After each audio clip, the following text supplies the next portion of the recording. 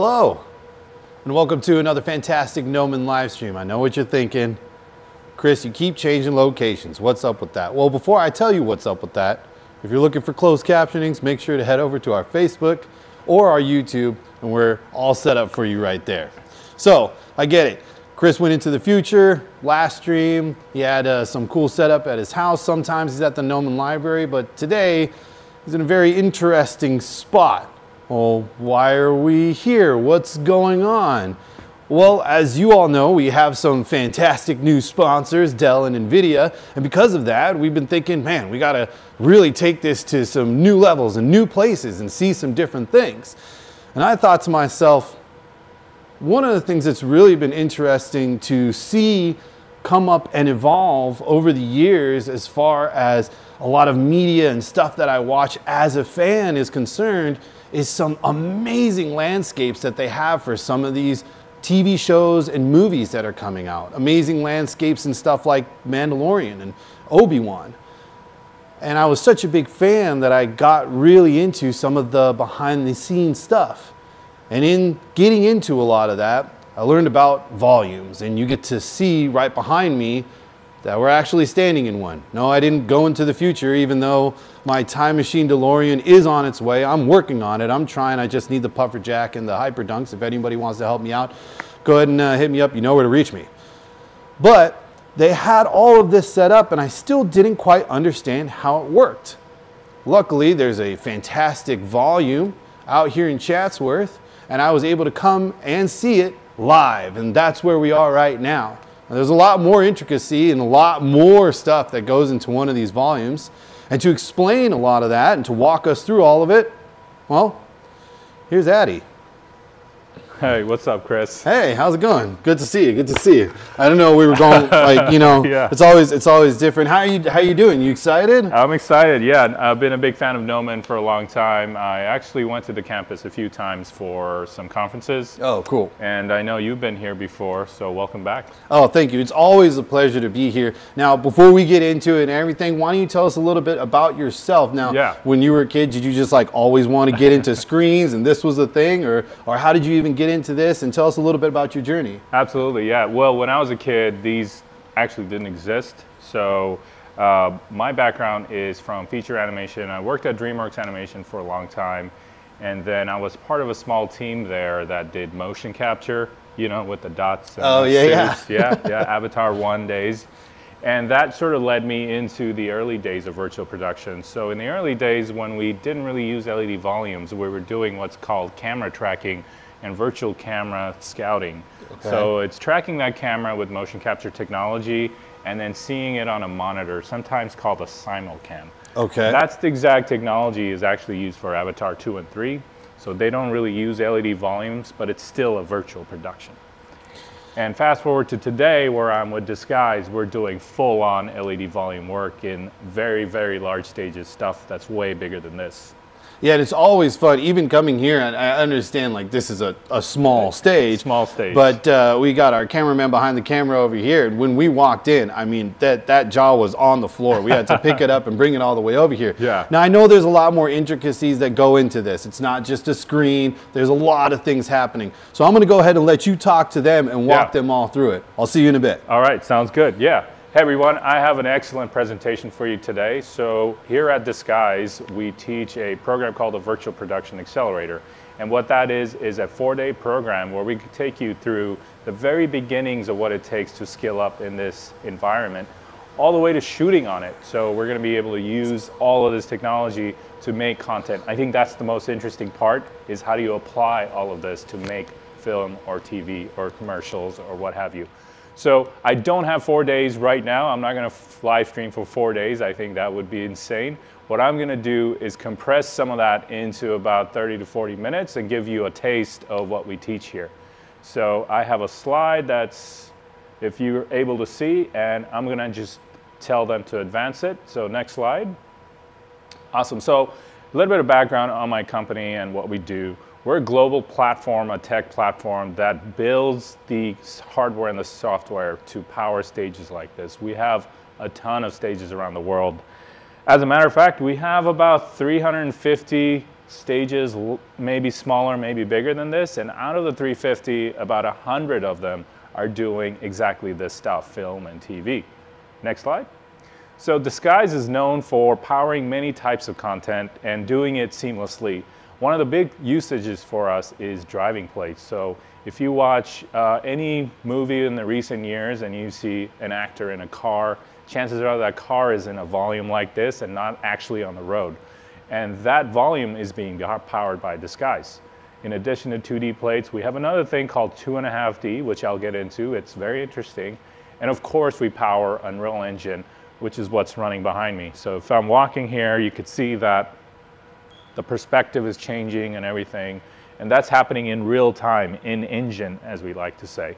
And of course, all of the professional tools are built around this content. So we have color workflows, we have compatibility with other technologies, and so on. So Disguise is a complete package for your stage for you to then make your content with.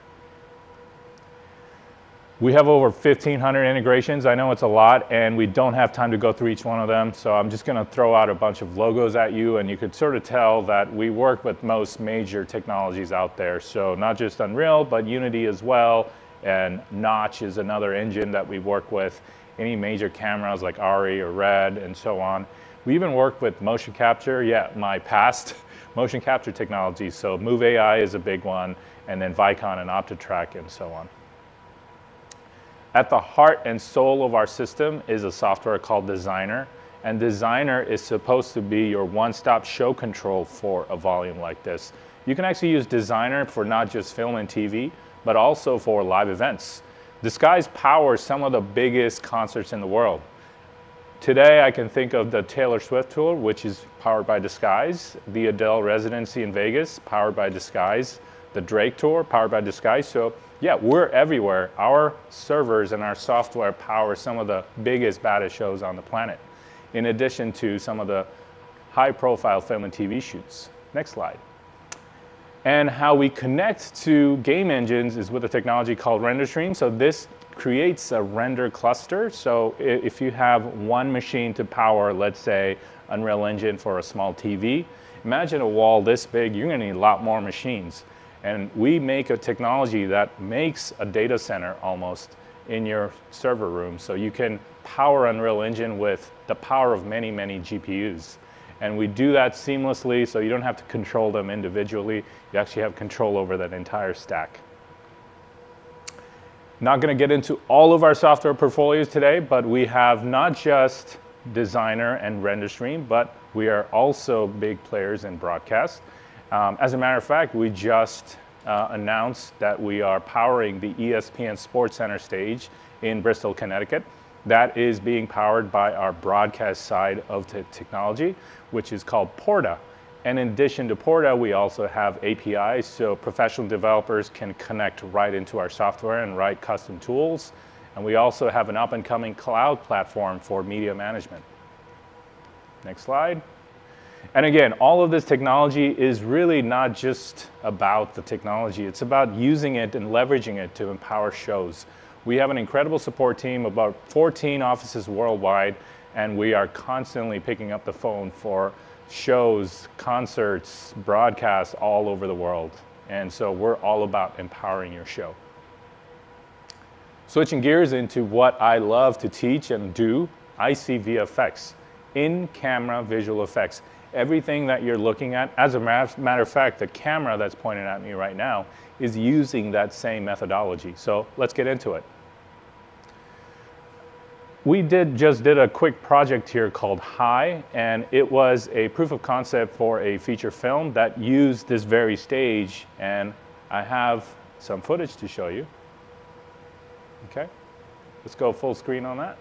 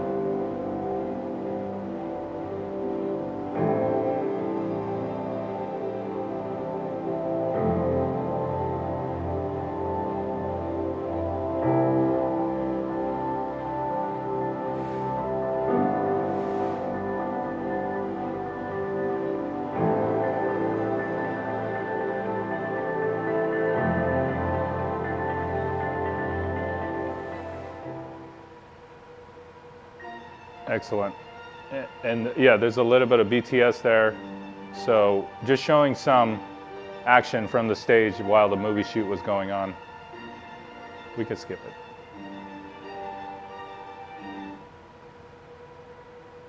Awesome. And another project that I'm super proud of, I got to create a short film using this very stage called Space Rider. Space Rider is actually out uh, right now for film festivals, so we are in the process of submitting to a, a, few festivals. So super excited about that, and we'll share some of those learnings with you on this course. Okay, and I believe we have the trailer here quickly. Yeah. Every beast I pursue, I capture,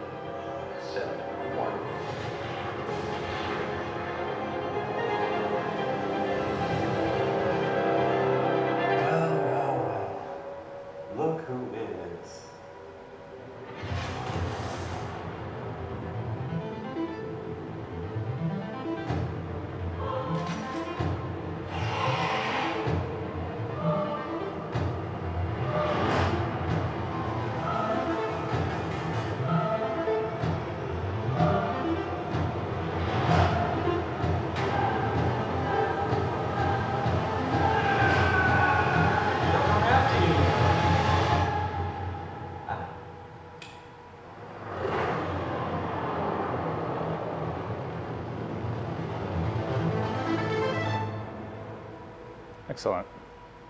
Thank you. And again, those both of those films were made using in-camera visual effects. So it's the art of pointing a very real traditional camera and lens kit at a wall like this and getting the right perspective, the right lens characteristics, and everything else that comes with a physical shoot, except you're in a virtual location. So what is ICVFX? I think the main thing that it comes down to is what the camera sees. When you create content from a stage like this, it's always about looking through the camera and through the lens to see what you're looking at. So you always have to remember that it's not just about crafting the frame with your eye, but it's actually what the camera is getting. So with that said, cameras and lenses play a big role in a stage like this. It's not just about the panels or Unreal or Disguise. It has as much to do with the ARRI or the RED or the Sony, for example, as well. And LED content is really meant to replace a traditional physical background. Next slide. So the reason ICVFX is important is because it saves, if done correctly, a ton of money. And imagine if you are you know, trying to shoot a science fiction movie, then you are creating very expensive environments in visual effects, and you're doing a lot of it in post with green screen, so you're compositing, you're chroma keying. ICVFX eliminates a lot of that process, so you get that shot right then and there when you're shooting. If you're using a car process, then you don't have to take the car out to a busy street, close off the street, get permits. You can now just be in an air-conditioned soundstage with your actors, and you could shoot it over and over again till you have the right shot. So ICVFX solves a lot of problems for productions, both logistically and financially, and that's the reason it has such big promise. The other big thing about in-camera visual effects with volume work is lighting and reflection. So when you're putting an actor, so I'm in a volume now, and all of the lighting that I'm being impacted by is coming from either a practical light or the ceiling or the LED wall. And these are really important things because it's completely immersing me into this world. If you do a traditional green screen VFX pass, you're having to add all of that in post, which sometimes could be really, really expensive. And then finally, having the directors and DPs make on-set decisions. Right now, if you are doing a VFX heavy shoot, everybody is just looking at tennis balls on sticks and a giant green cyc, and it feels a little disconnected, and a lot of the production is done in post, so a lot of the decisions are done in post. With ICVFX, the DP has direct say in lens choices and frame composition, and the director has direct say in the actor performance because he can see it right then and there. It's not going to change much. And finally, the actors themselves, when they see themselves in the world they are trying to act in, that gives them a natural performance uh, boost. And actors will always say that LED volume work is going to be a lot better than green screen work. There are two terms that are typically associated with LED volumes that you'll hear. So one is virtual production or VP, and the other is extended reality or XR. They're both about the same with some few differences. So XR is actually the process of taking what we have here in camera visual effects and adding set extension, which is extending the digital set beyond the physical limitations, the physical specifications of the volume. So if you were to pull this camera way, way, way back, you'd be able to see the edges of the volume. But using set extension, the edge of the volume blends seamlessly with the digital set, so it feels like the shot can go on forever. And then the other thing XR adds is augmented reality objects. So if I were to have a car or a motorcycle that's completely digital, doesn't exist in the real world in front of me, well, you could do that with XR. XR is used quite a bit for concerts and for broadcasts, whereas VP is commonly associated with in-camera VFX for film, TV, scripted content that you really want to hone in, take your time, and get the quality right. All right, so quickly I want to mention video plates. Like I said before, Disguise is used for a lot of video plate work, and video plate work, quite frankly, is a lot of virtual production. This is the stuff that's bread and butter. So before we get into Unreal work, I think it's easy to build up confidence with video plates. And video plates is also, there you go, there's a video plate right behind me. So I'm not in a car right now, but imagine me in a car driving. This is playing back uh, a stitched video, a 360 stitched video from about six different cameras. And each camera is, uh, an, you know, a real practical camera and a 360 stitching software or Disguise can stitch it into a 360. What's neat about video plates is you can change the angle at which the road is changing or you can change the playback frame or you can change the speed or color. So it has some adjustability to it and you're not having to build this entire world in a 3D game engine. So it, this is as simple as taking a camera out, putting it on a car, and then shooting that plate. So video plates, super important, really easy to get into, and one of the big use cases for virtual production. Cool. Let's go to the next slide. Awesome. And uh, one more. Sorry, Sam. Thank you. There are some considerations in creating video plates. So there are professional video plate companies that make just do this. Uh, the plates that we got this from are from drivingplates.com. There's a few others. Um, so I have the picture of the car here to show you how the camera is laid out. So I think they're using about 10 or so cameras and you could see that the cameras are not all clustered together on the roof. And there's a very good reason for that because when you put that stack of cameras on the roof, all of a sudden your perspective, your nodal point is at the top of the roof. So when you play it back on a volume, everything looks too high.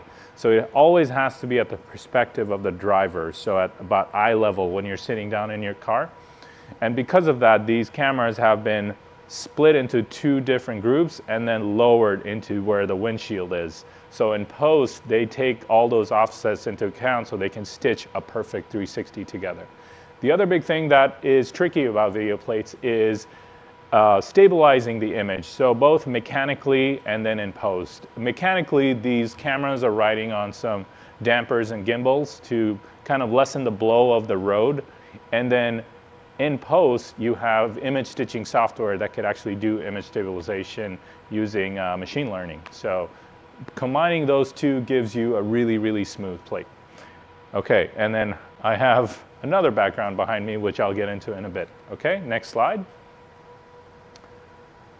So if you want to get started with driving plates, and we do a lot of that here during the Virtual Production Accelerator, start with 360 plates. Just take a 360 camera out in the real world so you don't have to stitch it. It already comes you know, in a lat long format.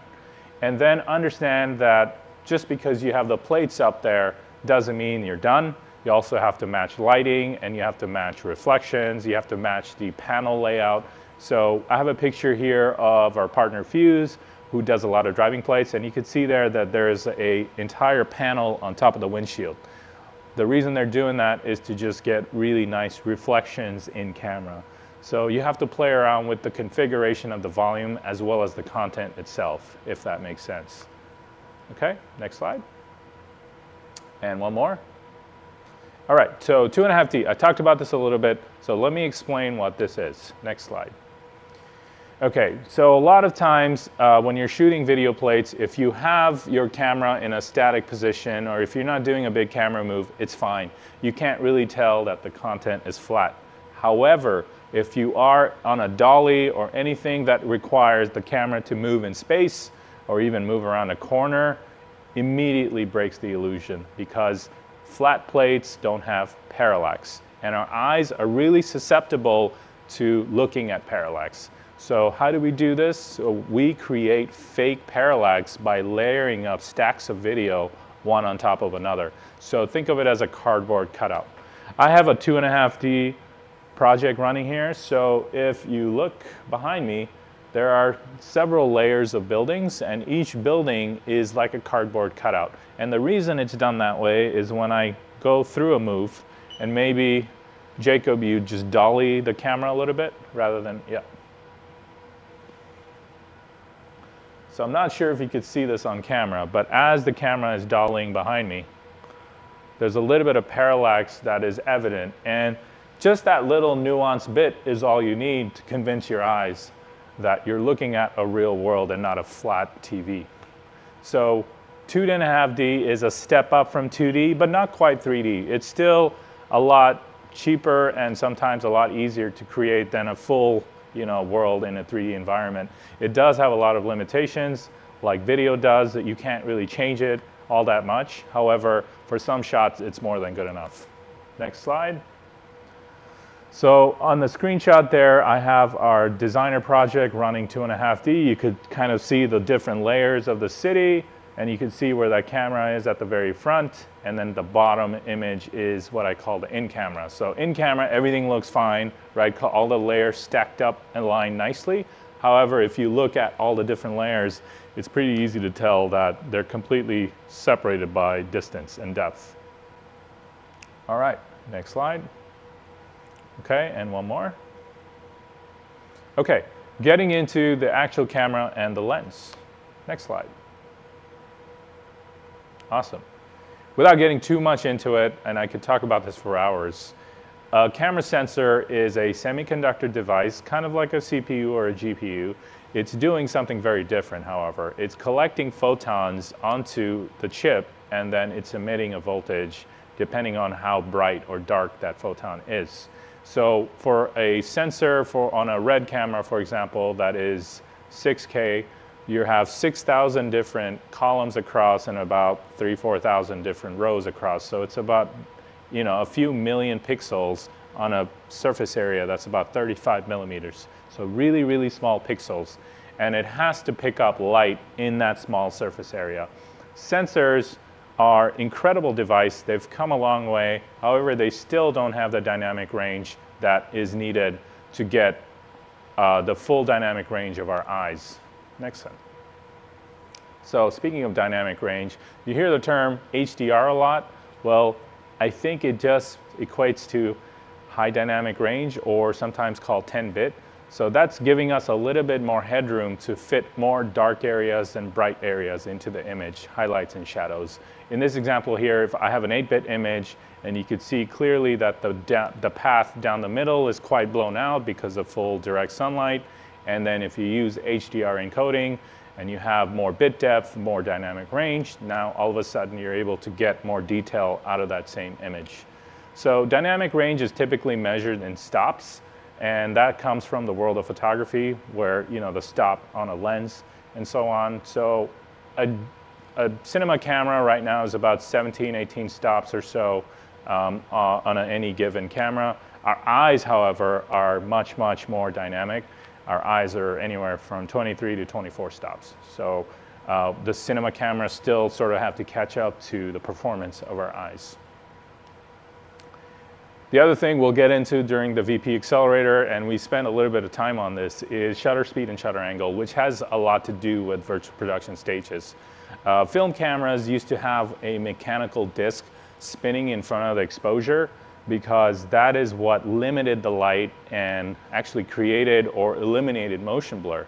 So if that top GIF that I'm looking at, 180 means half circle, and 180 half circles spinning gives you about the right motion blur that you need for uh, film, 24 frames a second.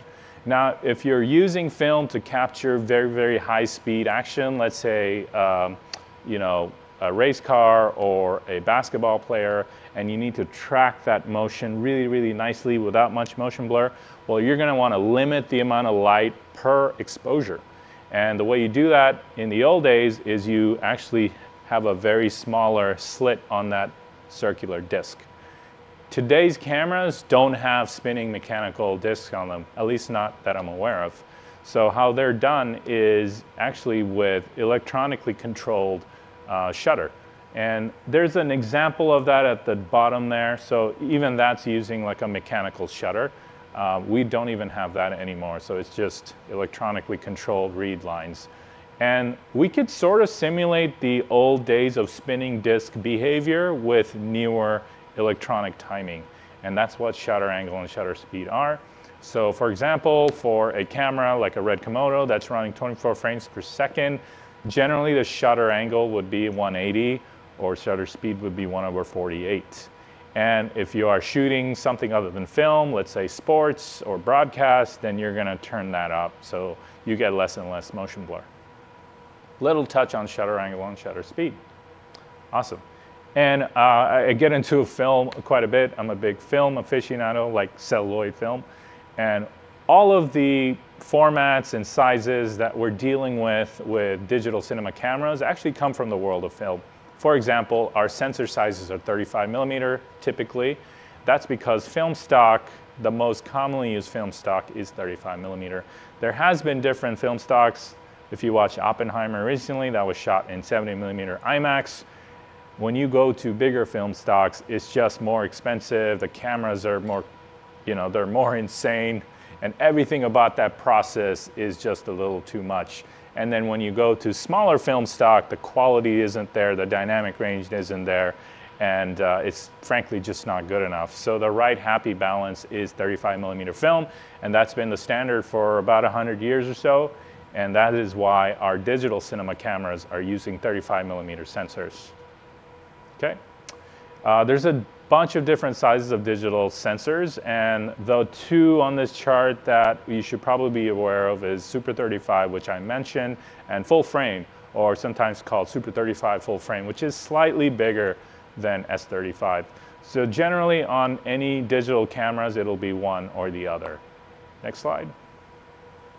There are also standard mechanical lens mounts that you have to be aware of, as well as the optics themselves and what they do. We'll get into that quite a bit in the accelerator. Here, I just want to point out some of the most common lenses that we see in virtual production. So the Cooke S4 anamorphic, we all love the anamorphic look, and it's, uh, it, it's what Space Rider used, it's what High used to shoot with. So that's going to use a PL mount, which is a very traditional mount from the film days. And uh, generally that is uh, also called a bayonet mount, so because it goes in and kind of clicks. And then we also have mounts from the modern photography lenses. So like an E mount is very common with Sony cameras. And then an EF mount, for example, on the Zeiss CP3 is very common with Canon cameras. So it's a mixture and combination of different lens mount, but don't worry, you have plenty of lens adapters for the different types of mounts. So if you have one or the other, you'll be just fine. Okay? And then switching gears into art department. Speaking of which, can you take me to another scene? While we do this, uh, I just want to point out the fact that I'm in a volume and it's really easy to just be transported into different worlds. And uh, the reason we do this is well, that's the whole point of making film in virtual production is to be able to do many, many things with one stage and in one place.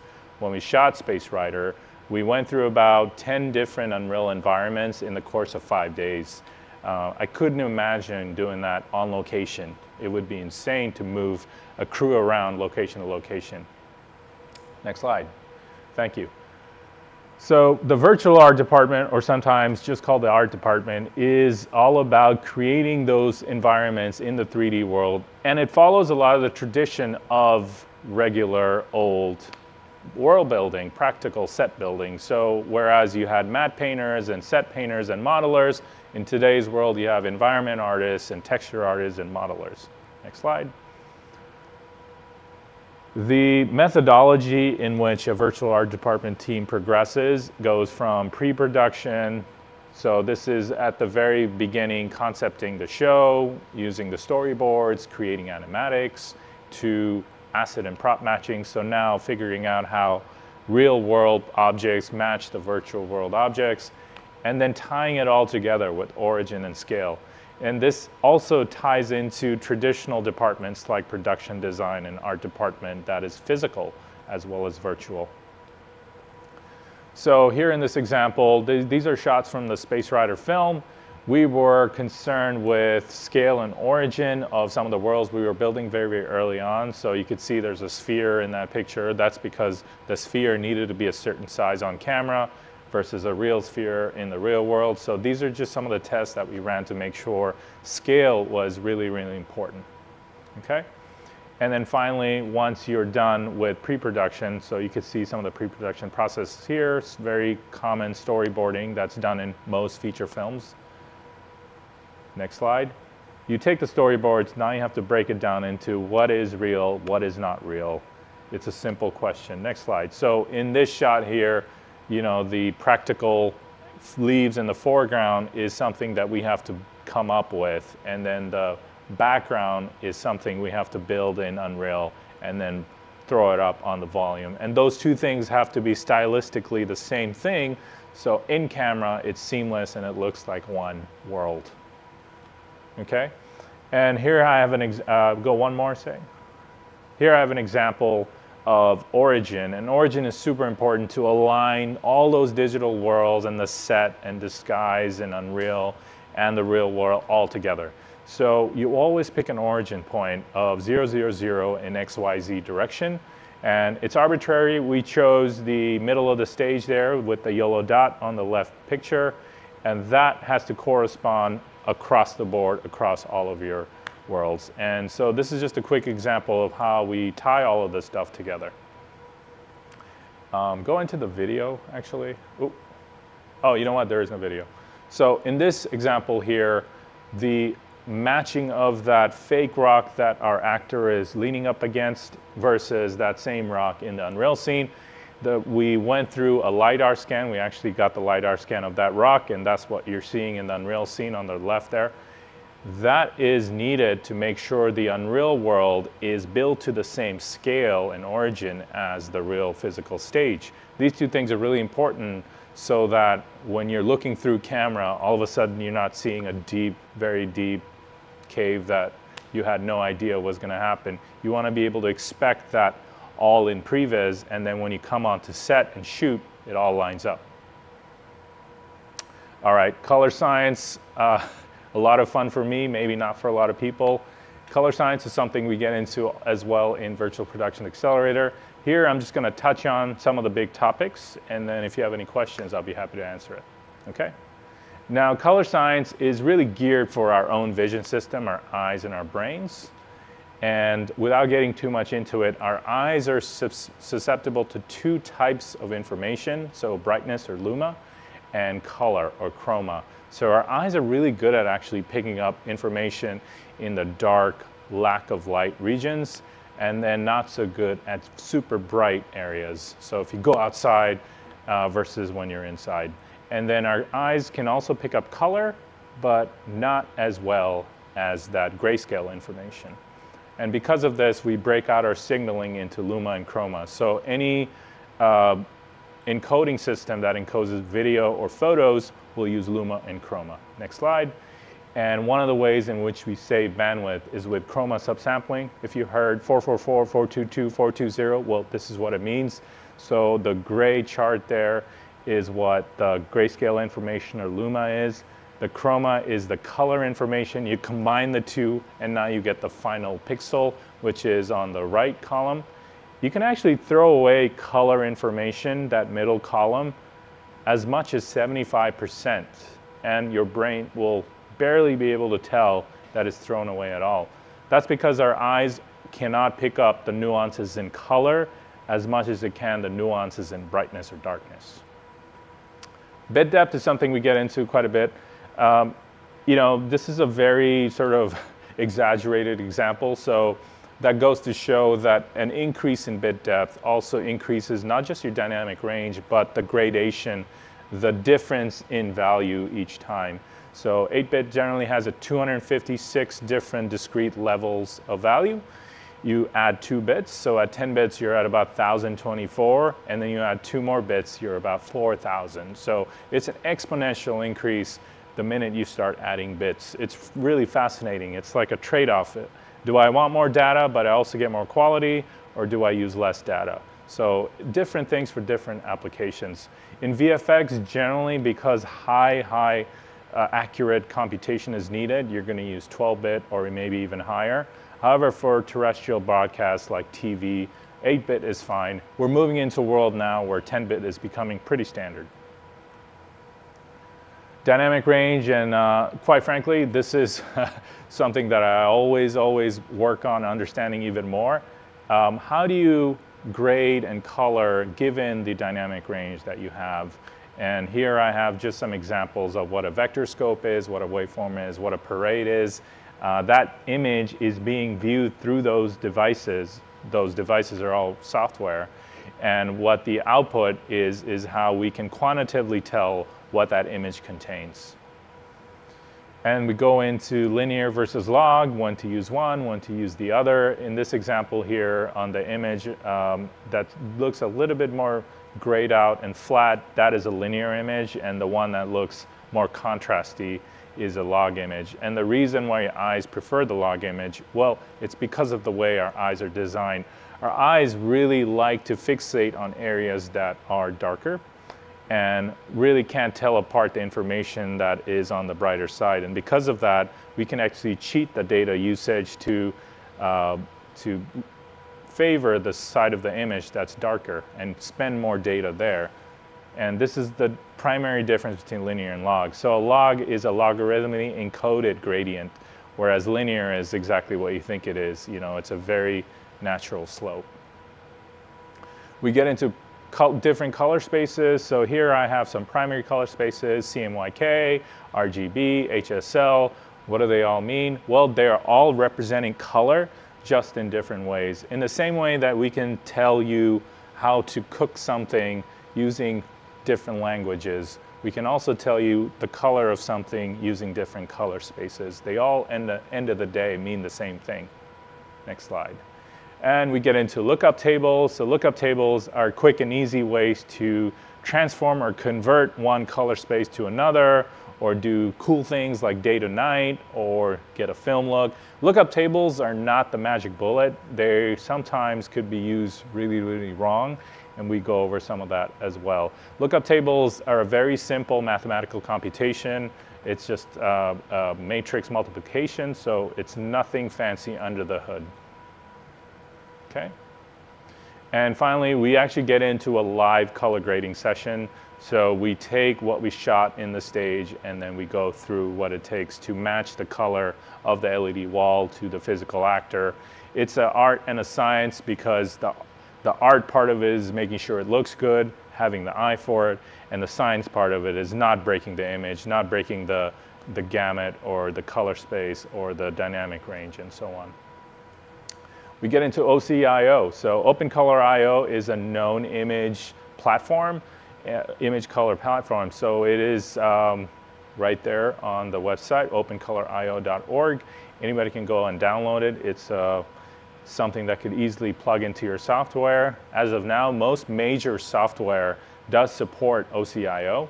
And OCIO could then run many, many different color spaces on your software. So for example, if you're running Unreal and you want to run Rec 709 color space, you want to enable the OCIO plugin and then build in the Rec 709 configuration within that plugin. Okay? Yep, and uh, we talk about color managing from Unreal all the way to the wall during the accelerator. Mm -hmm. We also talk a little bit about ACES.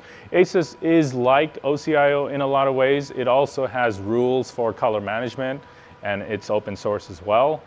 The thing that's a little bit different about ACES is ACES also defines color spaces. So ACES has AP0 and AP1. Those are ACES color spaces in addition to the standard color spaces of Rec 709, Rec 2020, DCI-P3, and so on. So we're going to get into the differences between each of these, when to use one, when to use the other, and what color space is an absolute theoretical one. Uh, I'm just to break the spoiler here. ACES AP0, it's a very theoretical color space, not quite useful just yet, but it is something that has, uh, you know, one gamut to capture it all. All right. And we go through a working example of a color pipeline from content all the way to the wall using Disguise. So you can see on this flow chart here that we have Unreal using OCIO, and then that OCIO config is replicated also on the Brompton LED processor, and then Disguise is set to a pass-through mode through ACES, so it doesn't transform or distort any color information. It's merely passing it through. And then that's how you ensure color fidelity. There are many, many ways to do this, so we just show you one or two ways here, which kind of educates you on how to manage and handle color spaces when you're out on a volume on your own. All right, and one more. Okay, so one more. We get into the dynamics of what a crew does on a VP stage, and a lot of this was learned from our film shoot for Space Rider, so it's capturing that social dynamic and the production dynamic in a bottle and then teaching it to you. So if we were to break down the crew from that film and bigger film, bigger crews, but it's still the same three categories. You have technical, creative, and administrative. So the technical folks are gonna be your volume operators, your disguise operators, and so on. The creative people are gonna be your director, your DP, your actors, and so on.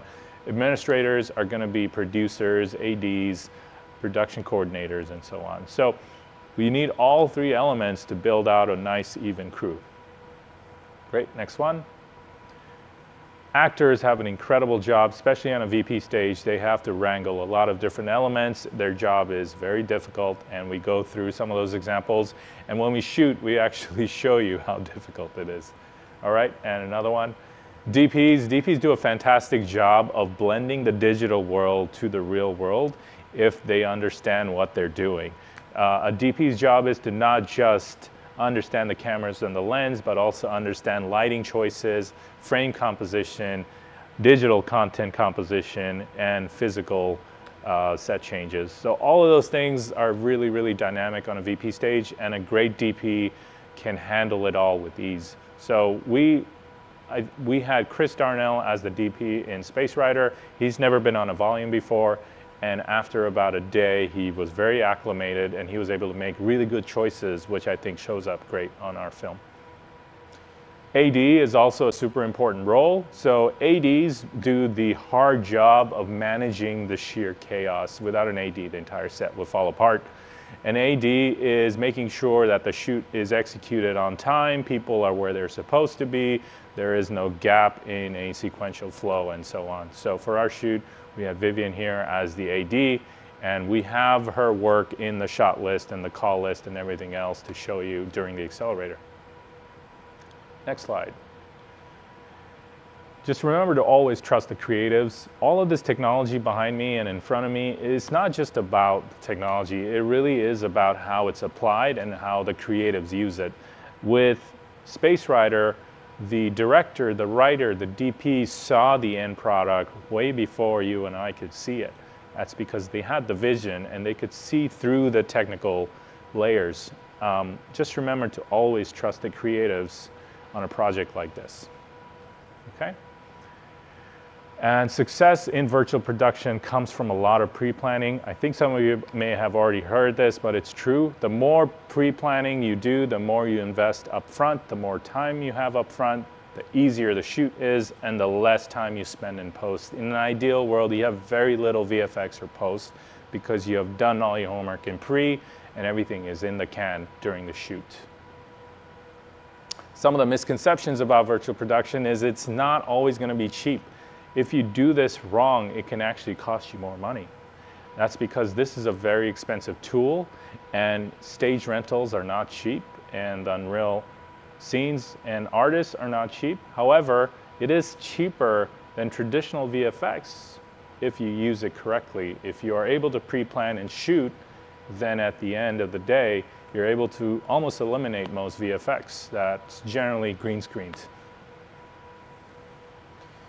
So to minimize the risk on the day of, during the shoot, what you would want to do is build in camera test days, pre-shoot days, bring in your DP, your director, your writer, everybody in a stage like this ahead of time, get them familiarized, get the content up on the wall long, long before you actually have to shoot.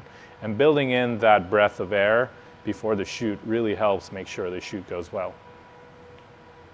Okay, without getting too much into detail, I just want to cover what some of the big components of a stage like this are. Okay, so obviously LED panels, it's a pretty big one. We're running with the ROE BP2V2 panels here. We're actually in the ROE visual headquarters here in Chatsworth where these are actually made and serviced right behind me there. Um, LED panels are one of the most important part of this entire chain is because the color fidelity and the performance of the LEDs is going to show up on, on camera. And if you have inferior LED panels, it breaks the entire illusion. In this example here, if you go to the next slide, LED panels are comprised of a lot of different subcomponents. So you have the power supply, you have the receiver card, and then you have the actual modules themselves. There's actually four tiny little tiles that make up one panel. And these panels could then just stack up one against each other and appear seamless in the front. But we're running with about uh, 100 or 200 panels back here, and it seems like it's one giant display. And that's the magic of LED panels. You can see here the pitch matters a lot with LED panels. So in this same square footage that I have on the screen, I have a 10 millimeter pixel pitch and there's about 100 LEDs. And then if I increase that pixel pitch to five, then all of a sudden I've quadrupled the number of LEDs. And then if I go down even further, now it's 1600 LEDs. So it's an exponential increase in the number of LEDs when you reduce the pixel pitch. And what that does on the back end is now you're having to power more pixels, which means you're going to need more rendering nodes and everything else. So complexity comes at a super high cost with LED pixel pitch. And a couple of the other big components on set is timecode and jam or sync. Um, you got to remember the LEDs are refreshing at their own pace. The camera is exposing at its own pace. Disguise is doing its own thing. Unreal is also rendering at its own pace. So to kind of synchronize all these things to happen at the same time, you need a unified time and unified signal. And that's what Genlock is. Next slide. So Genlock is uh, almost like a video signal without getting too much into it. It comes from the old days of TV. It's incredibly fast at megahertz speed and most devices that are in a professional stage like this can read Genlock just fine. The other thing to remember is timecode, which is essential for VFX work. So a lot of the stuff that we're gonna record, VFX is gonna take over. And for them to accurately sync everything across they're gonna need timecode. Timecode is like a clock, but it's like a clock that's built into every device and then it burns that data into every frame. Camera tracking, another important aspect. So as I'm moving around here, and if you want to dolly over a little bit, Jacob, something is aware of where Jacob is moving the camera. And as Jacob's moving the camera, the perspective in Unreal is changing. This is all happening so fast, many, many times a second. What's happening here is there's a Stype RedSpy camera tracking system that's shooting up at the world and it knows where it is in three space. And as Jacob is moving the camera, it is aware of the change in that space.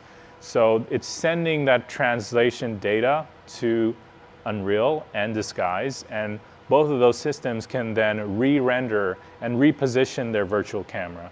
This is essentially what camera tracking is. It's an absolute necessity for in-camera VFX. There are two types of camera tracking systems. There is outside in and inside out. Inside out is stuff like Stype, what I just talked about, and there's another technology called NCAM and Mo-Sys. And outside in is when you have cameras on the outside of the stage looking at typically a passive marker. So those are generally from the motion capture world like OptiTrack and Vicon. All right, so getting into Space Rider, the production itself. And one more. So we wanted to make a story that had all the elements of, you know, classic sci-fi. You know, there was a big bad guy, there's a hero, and we wanted to be fun. And yeah, we were inspired by The Mandalorian. So we wrote about a 15 minute short film, and here is one of the storyboards from it. Next slide. These are some of the stills from uh, the shoot, and right away you can tell that we were getting pretty good quality right off the bat. Next slide. Here's a BTS, go ahead and play it back.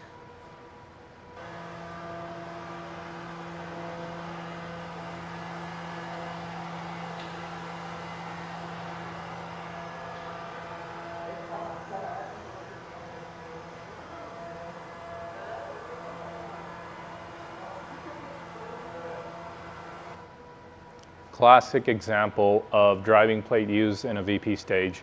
So we wanted to make sure all those classic examples of virtual production are in this film. So there was some technical consideration. At the same time, the creatives just wanted to tell a really ambitious story. So it was a combination of both. Okay, next slide. So some of the big creative decisions that went into Space Rider was avoiding the dark and gritty look that's generally associated with short sci-fi films um, embracing the 80s and 90s action film vibes, so having a lot of fun and putting in a lot of saturated colors and so on. Next slide. Some of the mood boards here, these are right from the show. So these, this is a very early process in which you're still trying to visualize what this world and what the characters look like. Next slide. And then it goes into asset exploration, then now looking at 3D assets and shaders and things like that to conceptualize what it would take to build this in Unreal, for example. Next slide. And then once we have the storyboard here is the first sequence, the motorcycle sequence, then we can actually put it all together into an edit and put scratch dialogue on it, scratch audio on it, and call it an animatic, and you can actually view it as a movie. After you've done previs, now it's time for tech visit. This is a little bit more technical, no pun intended. It's because now there's actual measurements involved, and this is where origin and scale really come into play. So you built this world, but is this world 100 meter wide or 10 meters wide? Well, it has to be a certain size in order for it to look correct on this wall. So TechViz is almost like fact checking against the real physical world in what you're building in the digital one. And then finally, we went into the shoot, which is sometimes called principal photography. So we used about eight different scenes on set and then a few more after. Uh, we used in-camera visual effects about three quarters of the movie, and then the one quarter of the movie we shot in green screen and blue screen. And we used those beautiful Cooke anamorphic lenses for that classic sci-fi look. So in a typical production, a lot of the stuff happens at the end, right? And this is the pre shoot, and post block. And in VP, we say that you want to do a lot of the planning up front, so the post is as small as possible. And what really happened for us, and I think this is the prediction for the future of film and virtual production, is the pre and post are going to be about the same effort, but there's going to be a seamless highway, if you will, between VFX in post and VP in pre. I think those two departments are going to connect in a way that is going to make sense as the movie loops. So the VP assets will get handed off to VFX, or VFX is going to create the assets for VP so they have consistency once that entire thing is shot. We used Unreal for our film, so a lot of the Unreal scenes that we used for VP were actually just used for VFX because we went final pixel with Unreal Engine uh, a diagram of our team. So we had about 20 people during the shoot days, those five days. So obviously Jeff, our director, at the middle of it all, controlling what needs to be done. And then his primary right-hand person was Vivian, the AD. AD themselves had help. And then The director of photography had his own team of gaffers and so on. And then finally, the brain bar, if you will, the volume control was the VP supervisor, the LED technician, the Unreal artist, the disguise operator. So that is its own sort of uh, category of personnel on the shoot that day. Okay, and one more. So some of the methodologies that we used and uh, some of the Space Rider primary uh, sort of uh, motivations was to make this fully VP native, right?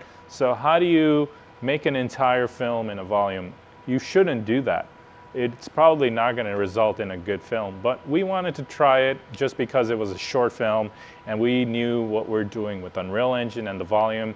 We weren't necessarily good at on-location shooting, but we were good at volume shooting. So we took that to our advantage.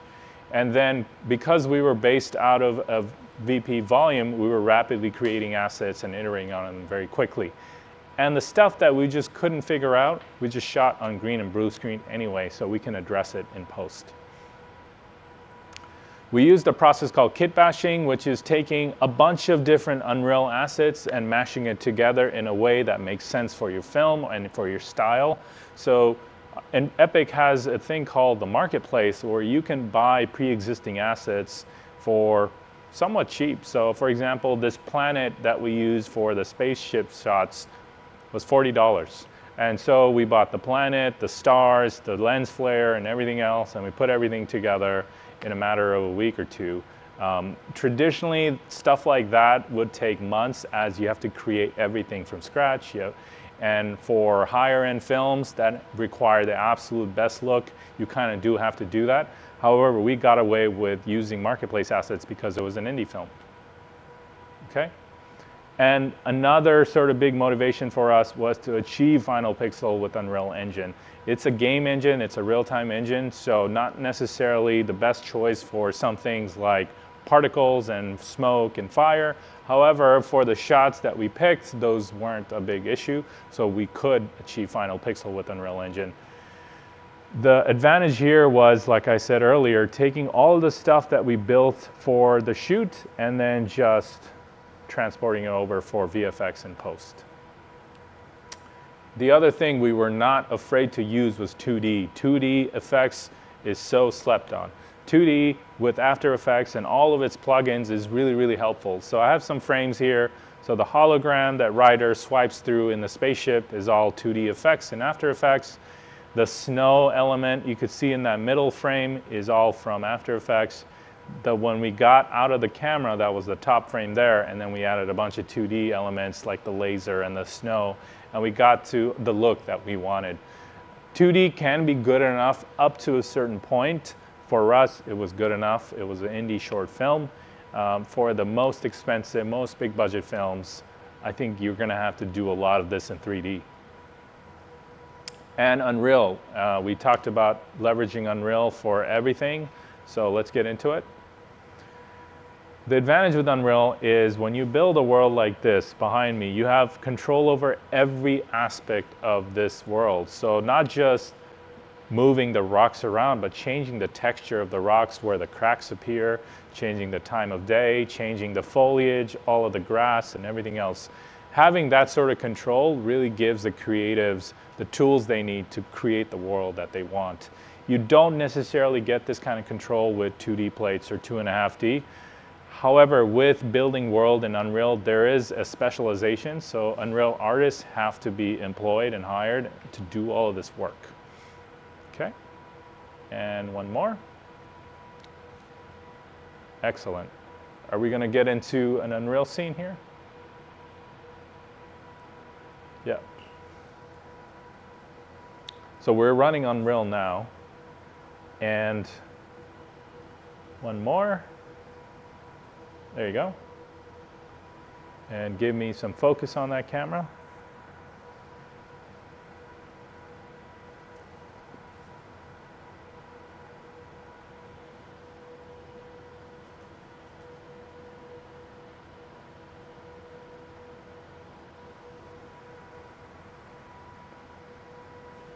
Excellent.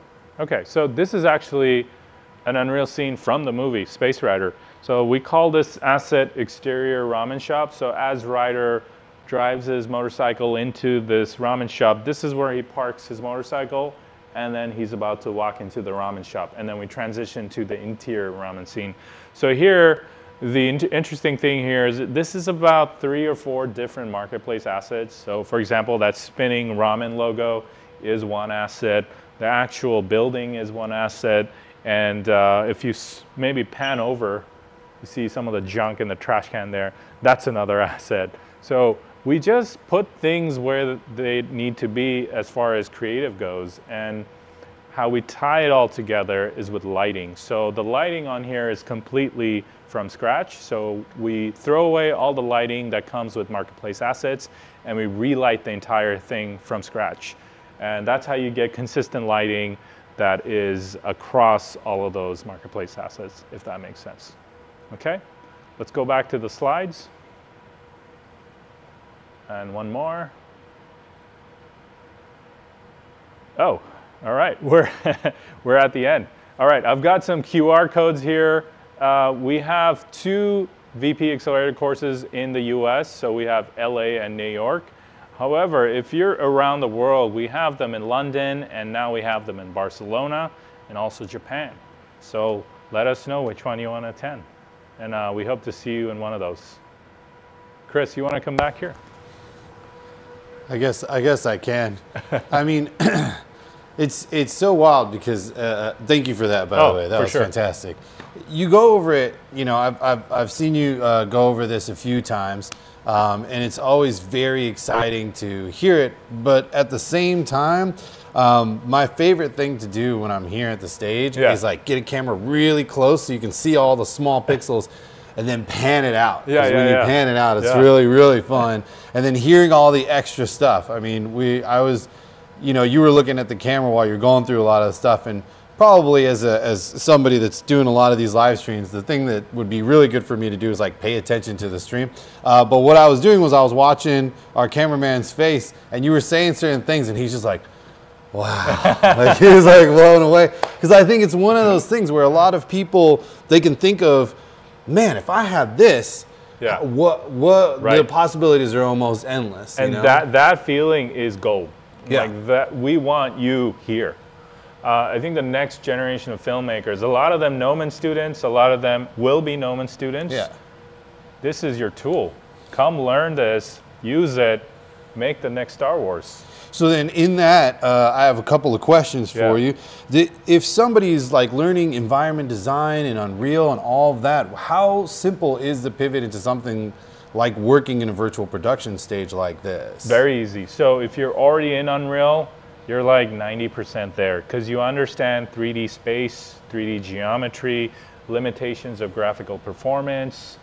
So when you walk into it, the bit that you're learning is the panels, the camera tracking, the skies, so a lot of what we call stage tools. The content tools you've already conquered. And then as far as like when you're on set and you're working on a production, you know, a lot of times I think back in the day, people would film stuff in green screen and then they'd have to like really comp it really quick so somebody could see kind of what's happening. Yeah. Well, in this, it's it's real time, it's right? right there. So Yeah. what's usually like the turnaround time? If somebody's like, "Yo, I hate that trash can. Get that out of here and, and take this person, move them over there." What's Yeah. the turnaround for that usually? Instant. Check this out. So Un- Unreal has a feature called multi-user editing where a bunch of people can log into one Unreal Engine session from anywhere in the world really over the network. And so yeah, you could see that block is being oh, moved. Oh, there we go. Yeah, I, I hate that block. Get that block out of here. You need to work on your director voice. Yeah, it's yeah. not it's not malicious enough. Get that block out of here. so what happened was, say, uh, um, Disguiser on the side, she is on a MUE session on that same render machine that the LED walls are using. So we have four machines here that are powering this wall, and then say is on a fifth one. That fifth one is talking to the other four. Okay, so hang on. You you you mentioned remotely anywhere in the world. So let's say that Yeah. uh, say had to go right now, Yeah. uh, but had internet connection on a plane to log in, and, and the connection was solid, and Oh. the computer is solid. On a plane, that- that's next level. Yeah. So all Say would need to do is create a VPN. Uh, you could use uh, very simple free VPN tools, and the entire multi-user edit session would have to run on that same VPN. And yeah, you could literally traverse through whatever network the airplane is on into this Unreal Engine. yeah. That's that's pretty pretty intense. Okay, so then you you have this fully Unreal situation here. You Yeah. have a 2.5D also in here that you can just switch to, Yeah. and then also the the driving plates and all of that. Yeah. How does how do you get from making those assets and loading them in, and then like how does the bandwidth work in that? Does it ever like get too much? Like what's what's the back end look for something like that? It's all disguise. So that's that's the sort of power of disguise is being able to handle all the different types of content, 2D, 2.5D, 3D, all in the same system. So what Say is doing is right now she switched us out to This this is a volumetric asset. Okay. It's not running in Unreal, it's actually running in Disguise. And then the 2D plates, 2.5D plates, they also just run in Disguise, so outside of Unreal. And then when we need that beautiful 3D world, well, we switch on Render Stream, which allows us to then start rendering in Unreal, if that makes sense. Yeah. Yeah. The, the important thing here is when you are a creative, you're shooting a movie, you want to have all those tools under your belt because you want to have options when you're shooting. So okay, I got all this stuff in Unreal. I'm working through all this, Yeah. and I come in and I go, you know what? You know this is cool. This is nice, but uh, I need some classic green screen stuff. Do they talk to each other? Like, can you do that? Can I just be like, let me have a little bit of here? Oh, okay, here we go, right here. Yeah. So, but then, and then the light, you're still getting some pretty decent Yeah. lighting from it as Yeah, well. so it sounds like you've done some green screen in your life. So one of the big problems with green screen is green spill, right?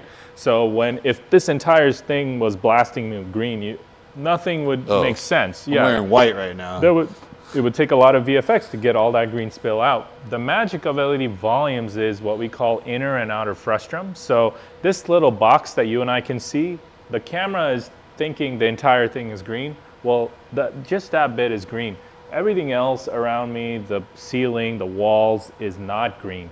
And what that's doing is it's putting in more of that incidental lighting versus the green light. And because of that, you get very little to no green spill. So when you take this footage of you and me on green to post, the VFX artist is going to give you a big hug because he's going to say you, you pulled an amazing green and it's going to make his or her job way easier. Yeah, I mean, it definitely Yeah. looks like it for sure. And then again, the the quick switch. I know Yeah. Satomi on the side is just Yeah. switching everything super fast as we're talking. Uh, it's just really impressive. Now, I have some questions here. I actually came in with my own questions, so I was like Oh, coming through. But we do have sure. questions that came in, and then of course Say, you can in you there take in us back to Hyperreal? Yeah. Yeah. If you're in there and you have any questions, go ahead and put them in. Uh, I know some of you have already been putting in questions. All right. The, one of the questions actually came from uh, working from home. So it was an interesting concept, but I think for pitching it to you, it, it's it's interesting as well. Um, you know, work from home, they have all those like filters that they got going on now. Do you ever see this because it's such uh, it's it's so used right now, and a lot of times whenever there's new technology, it gets used in like higher level, and then it gets down to consumer level. Yeah. Do you see stuff like this being used, or like disguised having like a home situation that you can go in and be like, today I'm going to be in Miami, do do do do, and then all your walls change or something like? Is that even possible? Yeah. I mean, we're seeing like what I call the democratization. We're seeing some of that now. So we actually have a whole different side of our business that is for corporate. So like uh, a hotel lobby. yeah. Or like you walk into a bank and one of the walls is an LED wall. So we do a lot of that work. And corporate is really picking up. And the other area that we're seeing this film te- technology kind of bleed into is location based experiences. So theme parks. So theme parks Okay. are now starting to use LED panels and things like that.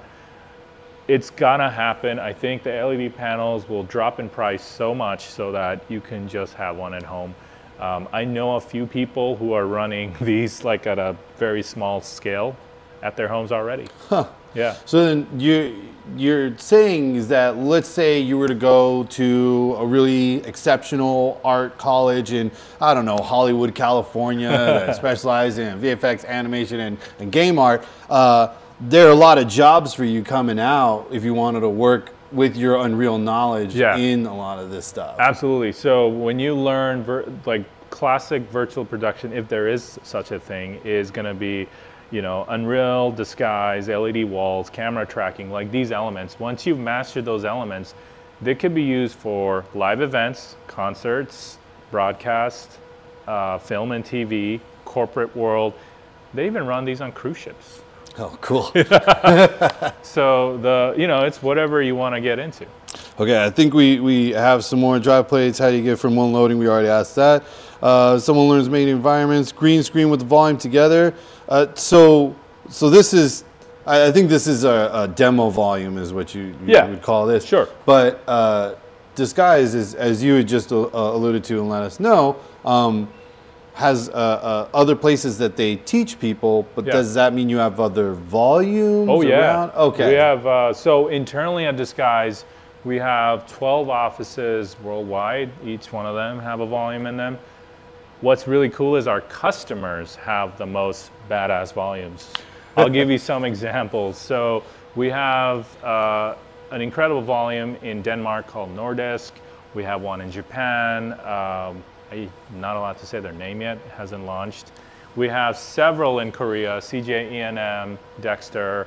We have one in Singapore. We have one here in LA. Nant Studios runs Disguise. Um, we have Pier 59 in New York. So I guess what I'm saying is uh, we ourselves, because we make the technology, we're not actually making the shows. We're not going to have the biggest, baddest volumes, but our customers are. And they are doing some incredible work with this technology. Oh yeah, we uh, we went to Nant Studios as well. A Yeah. lot of them uh, get to come through and experience a lot of the volumes. in Nant is, whew, Yeah. they got a serious studio right Oh, yeah. there. Uh, okay, so we have somebody uh, with a question that uh, graduated in architecture, moved into Unreal, self-taught. How hard do you think it would be for them to go back to movies, so virtual production? So they have uh, some Unreal knowledge, self-taught, and uh, they want to kind of pivot in. How, Yeah. how would you? Well, you kind of you kind of pivoted into virtual production. You Every, I think we in- all did. Okay. Yeah, I, I think this industry hasn't, you know, didn't exist a few years ago. So we all sort of found our way into it. Architecture applies. Uh, we actually have somebody on our team named Carlos who is also from an architecture background, is, is now a very proficient disguise operator and Unreal artist. So architecture, I think your brain works in 3D space. You're envisioning things in 3D, and now you already know Unreal. So that's an added step that you're much closer with. So the last step is to just learn these stage tools, learn color spaces, image encoding, like these little technical bits. But you're mostly good to go, believe it or not. And then uh, Carlos as well, just to tune up uh, a lot of his Yeah. knowledge, came to Gnomon. Yeah. Taking some classes Yeah, there. yeah, you yeah. know? There you go. So It's uh, you know if you, if just in case you were curious. Yes. Uh, let's see. So you were talking about the synergy between pre and post, and you see it coming up more and more. Sure. Uh, changing something in real time engine and loading it back into a reel. So where do you see the production benefits kind of happening? Where how are the, how is virtual production helping now? And then in the future, where do you really kind of see it, like how that communication and synergy is going to go? Yeah, so right now, virtual production is uh, fixing the part of the movie making process that is uh, maybe not the most efficient financially, right? Like a car process. Like, good luck putting an A-list actor or several A-list actors in a car on a road, shutting that road down, getting permits. So yeah, of course, sound stages with this stuff makes sense. So virtual production is like stopgap. Eventually, I think it'll turn into its own sort of tool to make films in. So then you're gonna start to have really, really novel and amazing use cases that we're not just seeing just yet. So right now we're trying to replicate things that already exist. We're gonna go to a place where it can only be done with VP. That shot is impossible any other way. So then, for people that are working in Unreal, and like how we have Satomi here, uh, for productions that are happening, there are people that are pre setting up the Unreal, but are there people like on the ground floor as the, the footage is happening and being filmed that need to know Unreal and be working Yeah. with it right there? Absolutely. So yeah, uh, if you are the type of personality that likes high pressure environments and Unreal, be on set as an Unreal artist or Unreal technician. Um, for the filming of our movie, we had a disguise operator, and to his left was Irene, who was our Unreal artist, and all her job was to check the scenes, load it correctly, make sure everything is where it should be. So it was like, you know, a pre-step to running this. So as this uh, scene was running, she was loading the next one, getting that ready, and so on. And Disguise could handle that. Yeah, and yeah, we, it was just like, you know, in a sequence of things. Now, what about uh, practical effects? So let's say that uh, we wanted to be inside a cavern Yeah. that had uh, water, and Yeah. we're going to splash up some water. Yeah. Can we do that by the volumes? I think so. Yeah, it, this is maybe too small of a volume to do that in. Oh, yeah. uh, but you know, there are some giant volumes, and uh, there's a lot of smoke, water. I've seen uh, you know shallow swimming pools be built in volumes that are maybe knee high, and then you put paddle boards on them. Yeah, and then you could do full-on ocean scenes and stuff with very little water. Wait, so in the, hang on, wait, wait. Yeah. so it was in a volume In that a people volume. were on a paddleboard. Yeah, so you can actually put a small swimming pool in here and then mask it in a way, blend the seams so it looks like. And the beautiful thing about water is it reflects all the stuff, right? Yeah. So it really is convincing.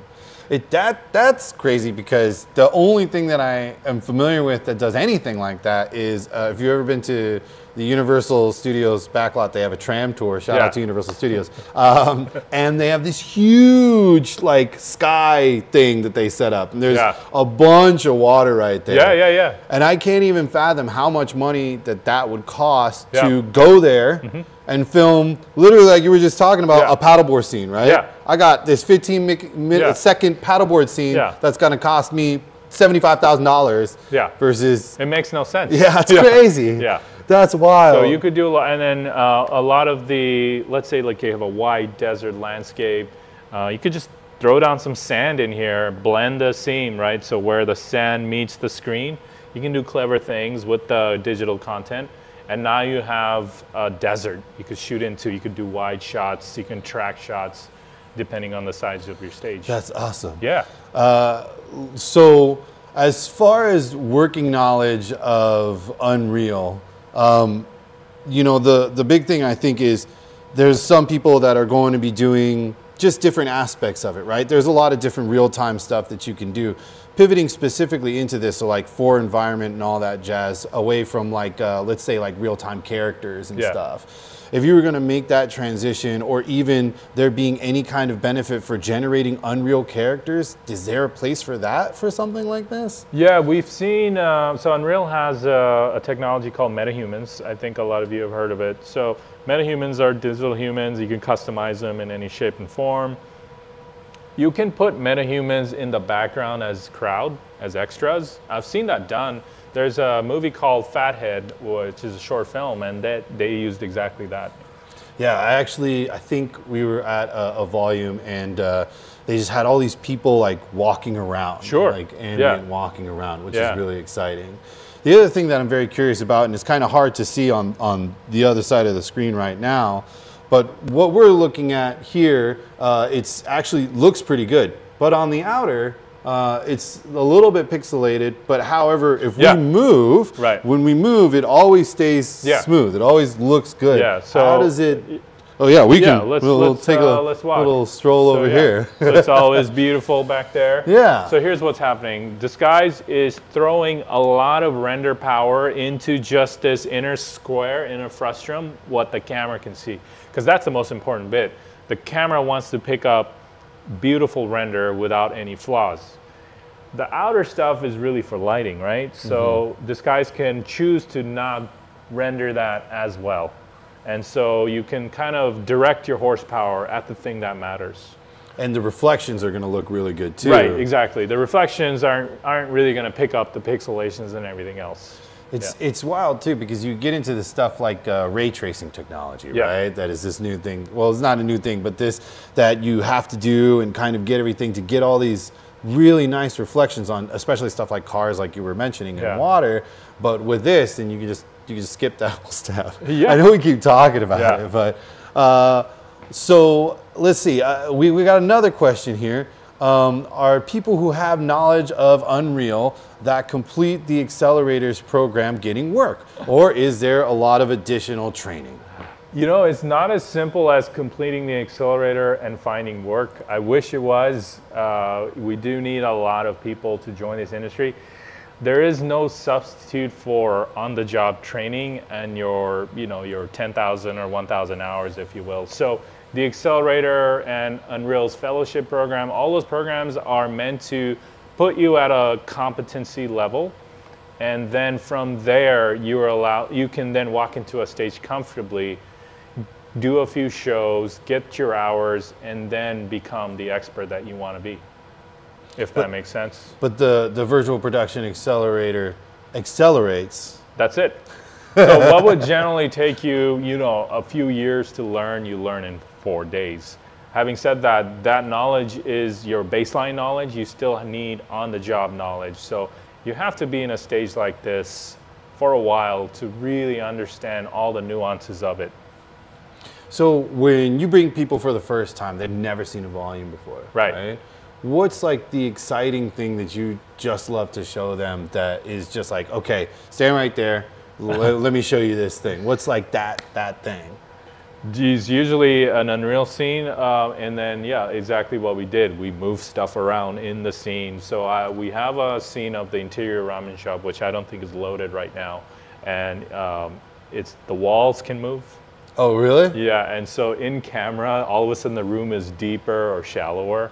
It's pretty insane. Yeah. Yeah, so that, that's one of the ones that's my go-tos. Yeah, yeah. Yeah. And that's got to be really exciting too, because again, it's it's just it's it's so phenomenal to see that look, because usually you only get that kind of shock and awe when people are at the movie. Yeah. Right? They're already seeing it finished and completed. Yep.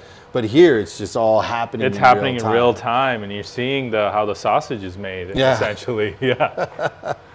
Well, I think for the most part, we're pretty much set. Did, was there was there anything else you, you, you had to for us to take a look at?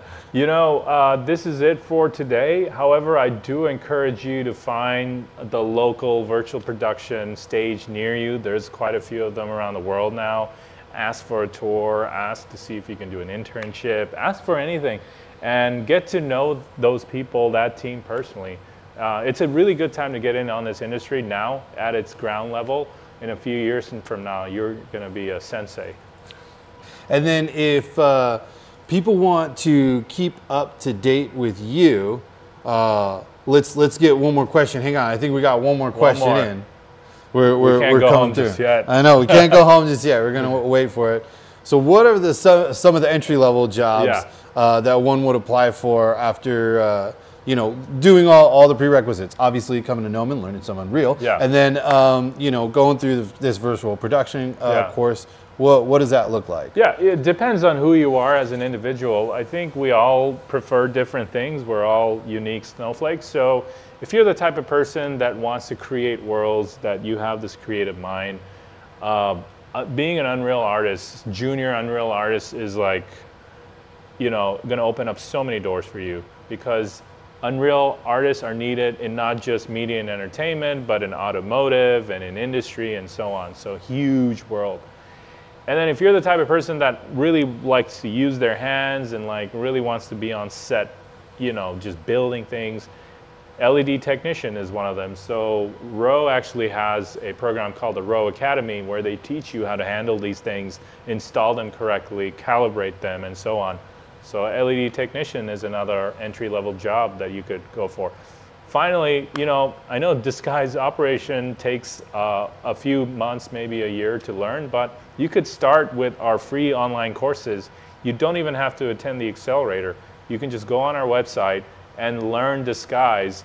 And now, as you're getting better and better, that puts you in a world where you can be on the most incredible concerts on the planet. That's not bad.